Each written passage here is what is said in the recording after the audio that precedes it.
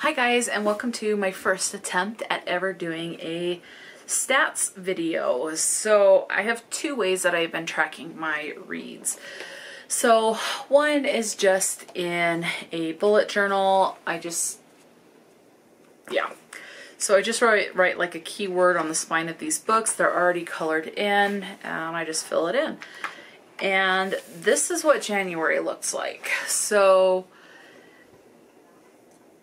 from my bullet journal, I can tell you, and so it's just graphs like that.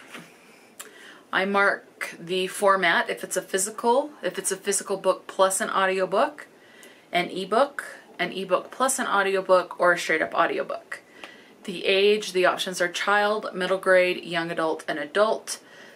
Um, I also translate, or I also mark, have marked in here if it's in the original language or if it's been translated, how many stars I've given it from a DNF, a zero star, and then all the way through a five.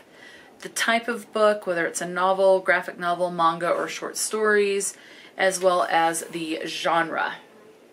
So, out of what I have read and that I have marked in my bullet journal, I have read 16 books for the month of January. That comes out to 4,655 pages read and 52 hours and 36 minutes listened. I do listen, um, if I'm reading a book along with the audiobook, I do listen to the audiobook at two times speed. Uh, if I am only listening, then it goes down to one and a half speed. One time speed or the normal, you know, the standard speed is just way too slow for me. So one and a half speed if it's just straight up listening, but if I'm reading along with the book, whether it's a physical or an ebook, I bump it up to um, two times speed. So as far as the format, there are, according to my bullet journal, there's four physical books, seven physical books while listening to an audiobook. I read four ebooks, and one listen to one audiobook. Although the ebooks I'm wondering if this is actually right. I think I listened to those with the audiobook. I may have marked that wrong, but let's go ahead and move on. you get the gist. Uh, for the age, I read eight adult books, six young adult, and two middle grade and it looks like 14 of the books. I forgot to mark this one. Let me mark. Okay, so 14 of the books were in the original language. They were written in English. I can't read any other language, so it's I'm always going to read a book in English. Uh, so 14 were originally written in English, and that could be whether that's written by an American author or an English author or like from the UK or somewhere. It's written in English. Doesn't necessarily mean it's American. Uh, and two books I read were translated. I gave three five stars, four four stars, four three stars, one two star, and four one stars. I read 10 novels, five graphic novels, and one manga. So the genres, one nonfiction, one classic, one contemporary, uh, let's see, five fantasy, one historical fiction, one horror, five romance, and one thriller. My favorite reads, I have three books that were my favorite for the month of January. Uh, one is the manga, which is Cat Massage Therapy Volume 2 uh, by Haru Hisakawa. So this is a contemporary, but it has fantastical elements. There are these actual cats that are masseurs, I think is the right word. I could be saying that wrong.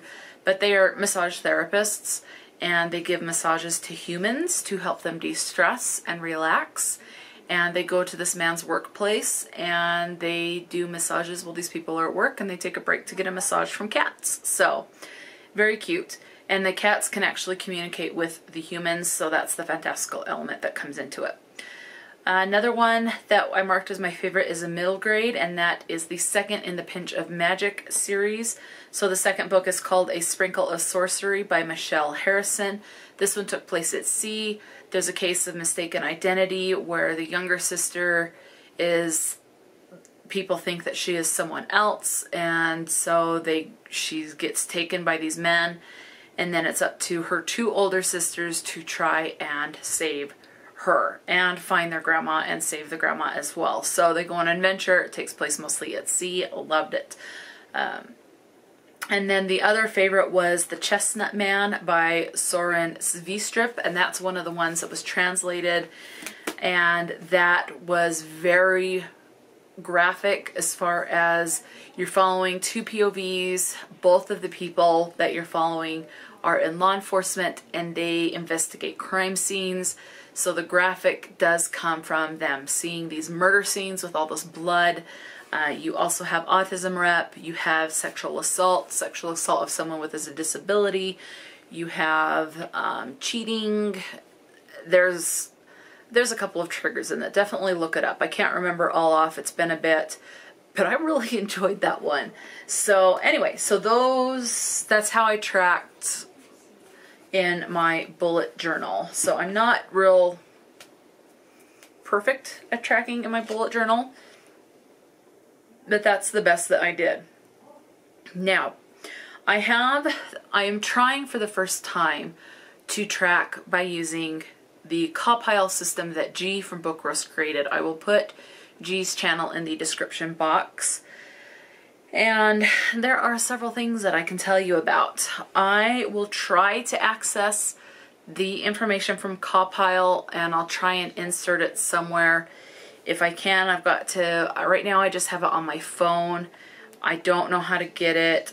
I'll try to access it on my computer so that I can screenshot stuff and insert it, but if I don't, then that means I just didn't figure out figure it out by the time this video goes up, but I will definitely try to.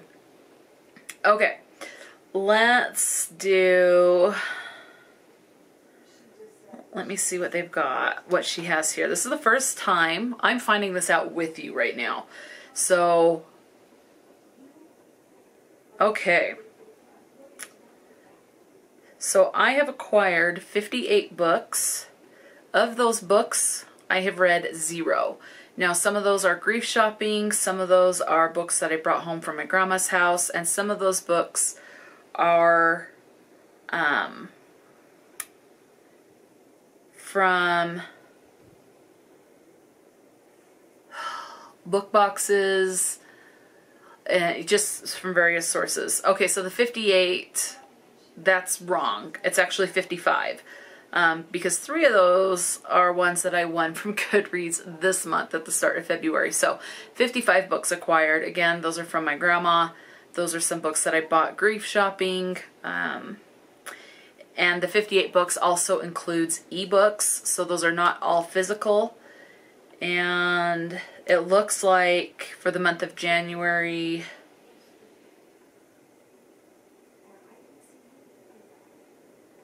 Um, no, looks like that's all that I can really tell you on that page. Okay, let's move on to series tracker. Now this is interesting. So I have logged 44, it looks like, series. I can tell you that I did complete one series. Now the series that I complete was only a duology, but it is still a series because it's not a standalone. And let's see, so I have 40, oh, it's 43, excuse me. 43 no, I have tracked 44. Oh, okay. Hello. I have 43 series that are still waiting to be completed right now.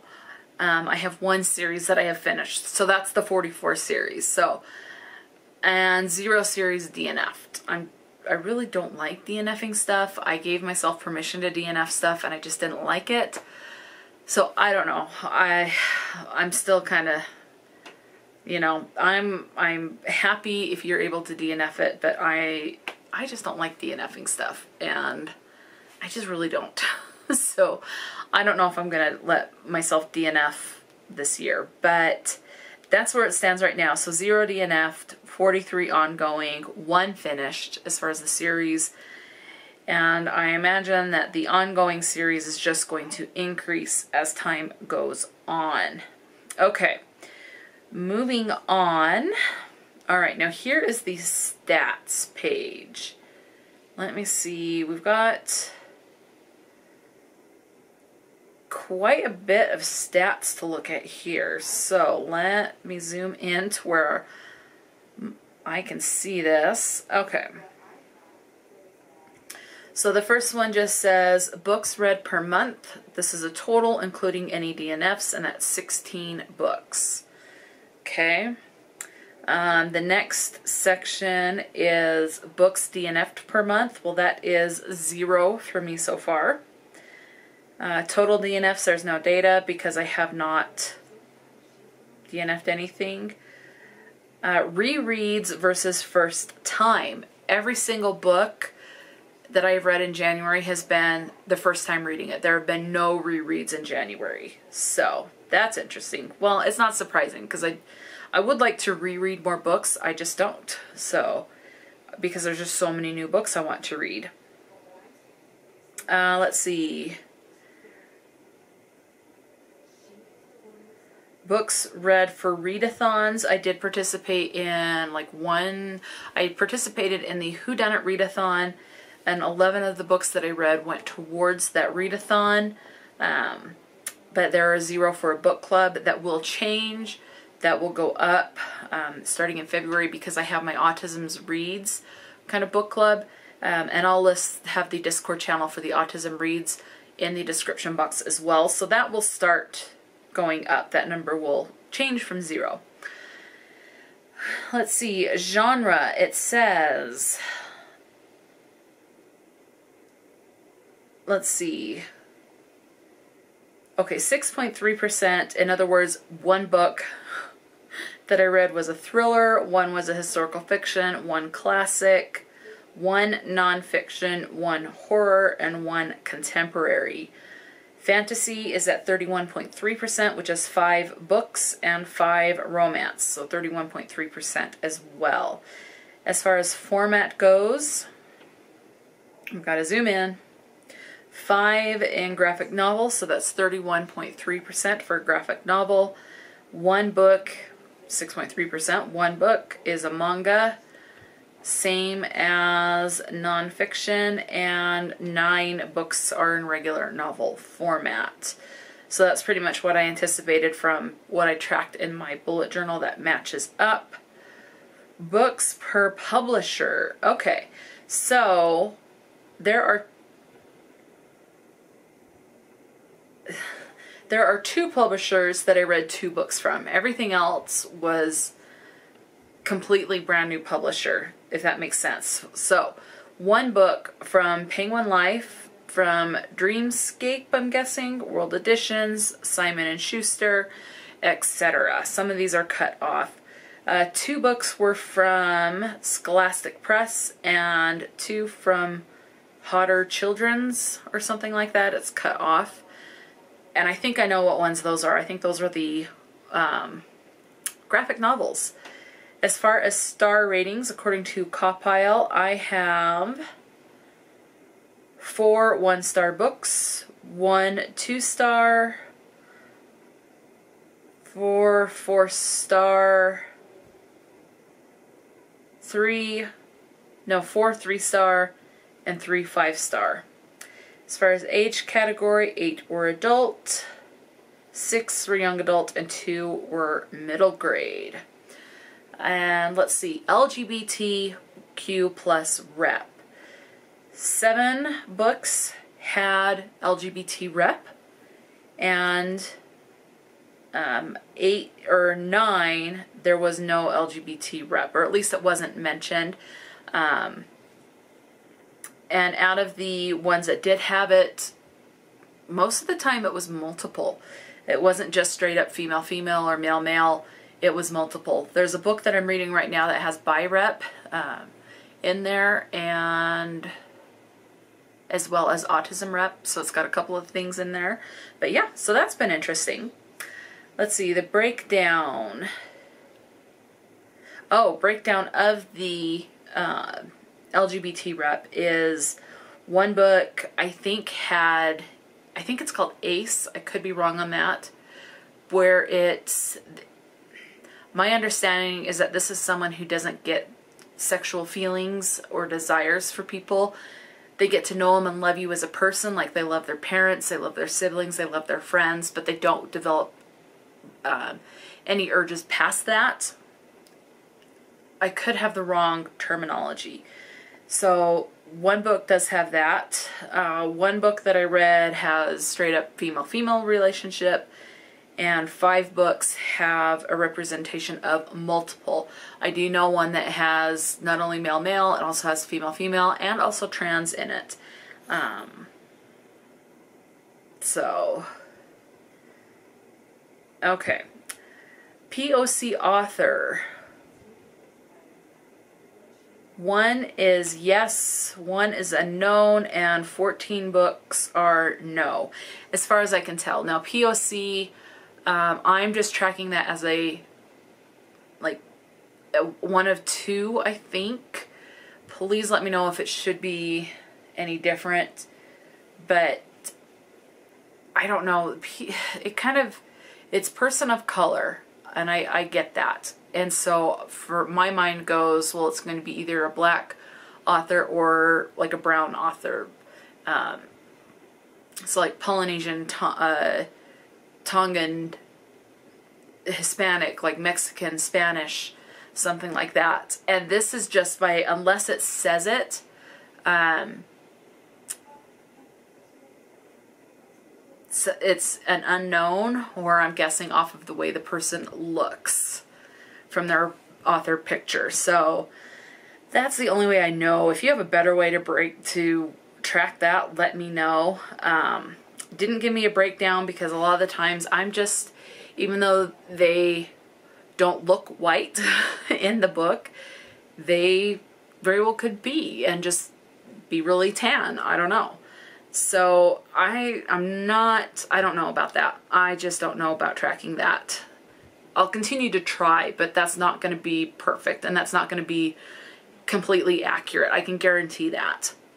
Um, number of books per author. Um, there were several authors I read to for the first time, including uh, like Wilkie Collins, Cat Winters, two books. So everything was by one one book per author except for the following. Two authors I read multiple books from. So I read two books for from Lyra Selene. That was Amber and Dusk and Diamond and Dawn. That is the Amber and Dusk duology. That is the series that I completed. I read both of those books in January, and I will say the second book, in my opinion, was so much better than the first book. Um, so I'm glad I got the second book from the library and read it.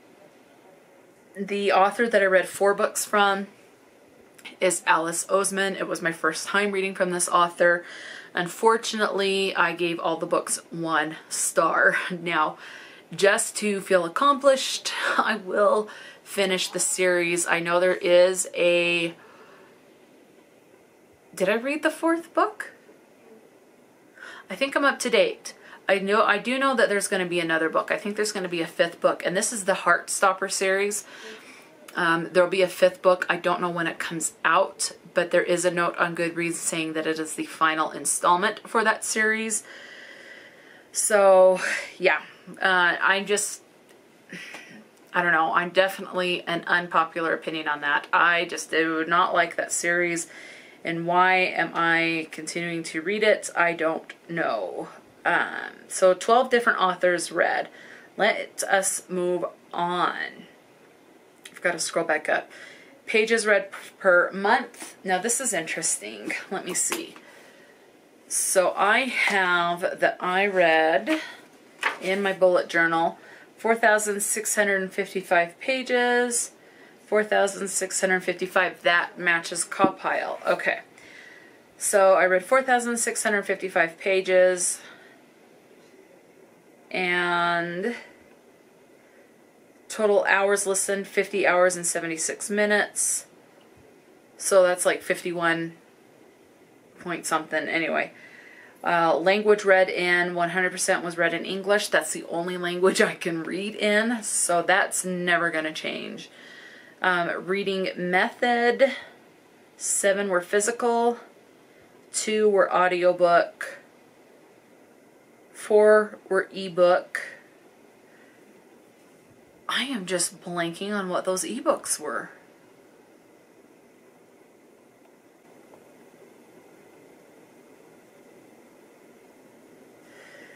Uh, okay. Um, and then mixed media would be like an ebook and an audiobook.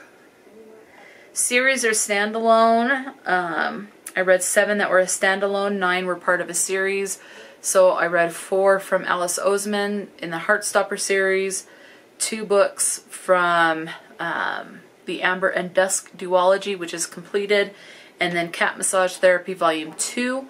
Uh, and so far there are three volumes out. Uh, let's see, series started. I started two series. Um, sequels read. I've read seven sequels. Because it's just the next, which makes sense, because it's like, the sequel I don't count as like just the second book in a series. The sequel can be the third book, depending on where you're at. If you've read the fifth book in the series and there's eight books, each book after the fifth, in my opinion, is the sequel, because it's still, still continuing. Um, okay, and zero series DNF'd. Books for readathons.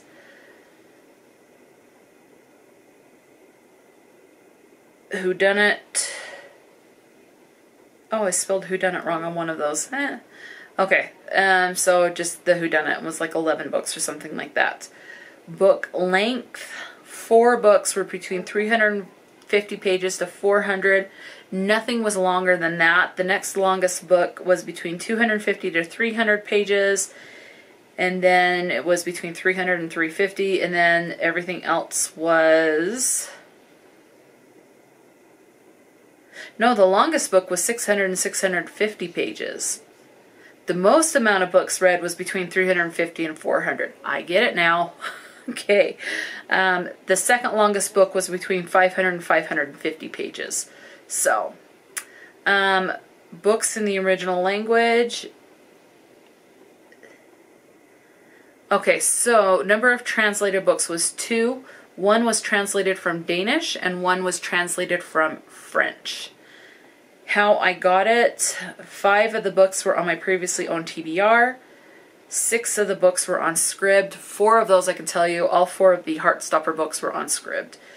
Um, one I read was an ARC. Two were from a book box, it looks like. And two from the library. Yeah, that one's right. Okay, two from the library. Um, star rating and half stars. We've already gone over that. Uh, three, five stars, etc. Um, okay, now this does break it down into half stars according to the CAWPILE. So there's three five stars, two four and a half, two four, two three and a half, two three star. I can't see what this number is. Three, one and a half, one two star, and one one star. So I guess some of those heart stoppers were like a one and a half. Um, average star rating so far this year is a 5.73 according to CAWPILE, which is a 3 star. Um, publication year. I read a, one book from 2022, one from 1860, two from 2018, four published in 2019, two from 2016, one from 2013, three from 2020, and two from 2021.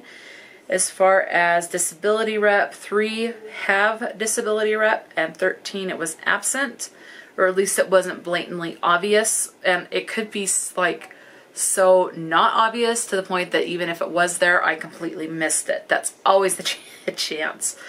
Um, as far as breakdown, we have This one, the only way I could think of, and it was three different disabilities, so one per book. One of them was, they just talked about someone being mentally slower than their peers. So it's like a, just a learning disability, I guess, where it, they just take longer to learn. They just, and that one was in The Woman in White. It just talked about how this character was slower than everyone else her age. So she just wasn't on the same level mentally. So yeah, so I just labeled that as mental slowness. I do not know what the correct terminology would be. Um, so, uh, one book had autism rep and one book had OCD rep. As far as written by, um, I have one book where it's not specified, and I'm generally going by pronouns unless, I mean, I'll do like a quick Google search, but I don't want to go into too depth because I really don't care what someone's sexuality is that writes the book. I just care that the book is good, plain and simple. Um, but for the sake of CAWPILE, I did look into it a little bit more than I usually do. I went by the pronouns used, so like she, her, they, them, um, things like that. Uh, three books were written by a male author, and let's see, 11 were written by a woman. And these are just like, I couldn't find anything that I went by the pronouns, and unless I find something that states differently, I'm going by the pronouns, whether it's man or a woman. One, I couldn't figure it out, one or the other, not specified, could not figure it out. And one is actually, it was written by a trans woman. As far as nationality goes, five were English, so five of the authors were from the UK. One is, I don't know where they were from and I, I couldn't figure it out. One is British, specifically British. Um, one is Belgian, two is Danish, and six are American. And new or returning author, seven I have read from before, and nine are uh, new author. And then once you've read, if it's like with Alice Oseman and there being like, what, four or five of the Heartstopper books, once you've read the first one, she's a new to you author, but then you get to the second one and you've read from them before. So, yeah. Uh, let's see.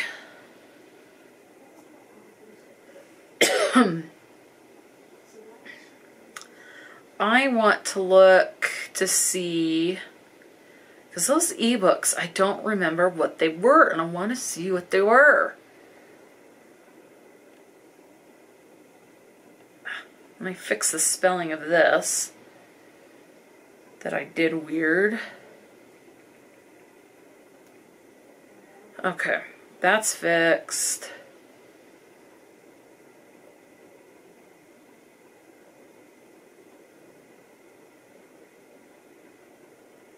What were the ebooks I read? Where is it? Okay, so Little Book of Hygge, I finished that. I started that one. The Little Book of Hygge is the nonfiction book, and I started that one before January, but I finished it like January 1st, so it just went in for being completed in January. Um, let's see, The Piper was an audiobook. Physical was real life, A Sprinkle of Sorcery, Cat Massage Therapy, Unicorn Bowling, and that is the one Dana Simpson wrote the Phoebe and Her Unicorn series, and Dana Simpson is trans. And let's see. Oh, the ebooks were Heartstopper from Scribd. I read the ebook versions. So that's it. That is my first attempt at the stats for the month. Um, I like watching people's stats videos. I will continue to try and track these um, stats and yeah, go from there.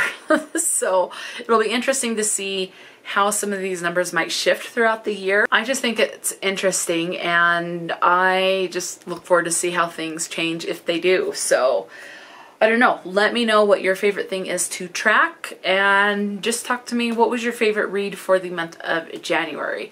And what are you most looking forward to reading for the month of February? Talk to me in the comments section below. And until next time, stay true to yourself and enjoy a good book. And I'll talk to you later.